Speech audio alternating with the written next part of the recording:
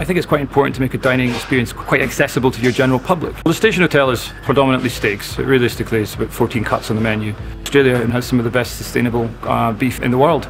I personally age our cuts for about a minimum of four weeks. You're looking for uh, quite strong elements of, of nuttiness, almost a parmesan-like edge to it, and uh, quite a butteriness to the finished product. Food can create moments, food can create memories. You can make that anniversary or you can make that birthday something to, to, to remember quite profoundly.